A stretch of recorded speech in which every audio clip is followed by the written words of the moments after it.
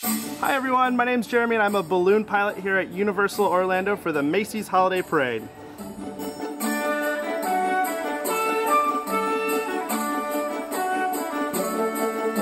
Well, I actually started as a guest a long time ago. I was selected in the park to be a part of the parade and I flew one of our balloons. And I got hired at Universal years later and I became a balloon handler and then became a pilot and started doing the parade in New York and do the parade here every year as a pilot here in Orlando. I like that the guests get to do it because it's really hard to be a part of the parade in New York.